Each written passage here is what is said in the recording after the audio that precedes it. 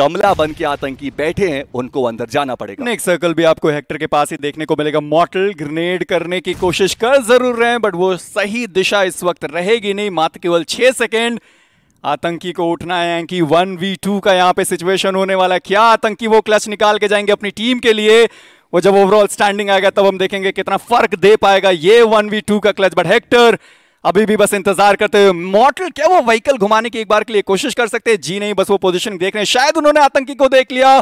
शायद नहीं but Hector अभी भी यहाँ पे बरकरार रहेंगे। बट एक बढ़िया ग्रेनेड हेक्टर का टीम सोल फाइनल मैच और final winner winner chicken dinner अपनी टीम के लिए लेके जाती हुई। भारत की सर्वश्रेष्ठ टीम जैसा कि मैंने कल कहा था, आज एक बार फिर से अपने आप को प्रूव आउट करेंगे। देल बी